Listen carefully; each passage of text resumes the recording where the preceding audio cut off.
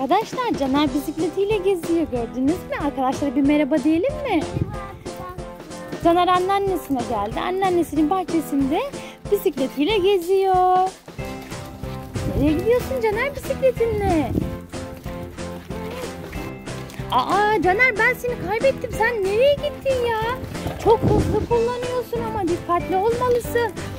Ben Caner'i yakalayamıyorum arkadaşlar. Gördünüz mü ne kadar hızlı kullanıyor bisikletini. Sen şimdi nereye gidiyorsun Caner?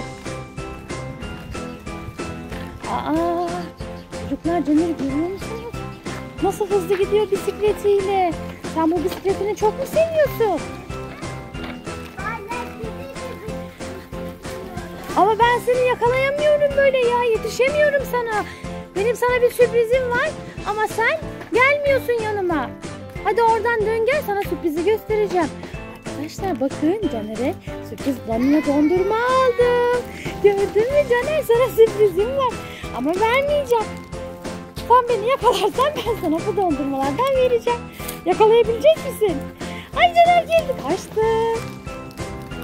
Bakın arkadaşlar Caner'e Danino çilekli dondurma aldım.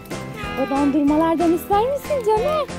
Ama iki tanesi senin değil. Birisi de benim, birisini de ben yiyeyim dondurmaların? Vereyim mi sana dondurmayı? Al bakalım bu dondurma senin olsun. Bu dondurma da benim olsun. Gördünüz mü çocuklar? Çilekli Danino dondurma. Sen çilekli dondurmayı çok mu seviyorsun? Bakalım. Açabildin mi? Çöpünü yere atma. Çöpünü bana ver. Çöpe atalım. Afiyet olsun Caner. Sakın dondurmanı yere düşürme tamam mı? Şimdi nereye gidiyorsun? Gezmeye gidiyorsun. E, o zaman bir arkadaşlarına bay bay yap. Öyle öyle bir gezmeye git. Seni burada yakaladım. Buradaysın. Bay bay yap arkadaşlarına. Ne yapmayı unutmuyoruz? Arkadaşlar kanalımıza abone olmayı unutmayın. Hoşçakalın.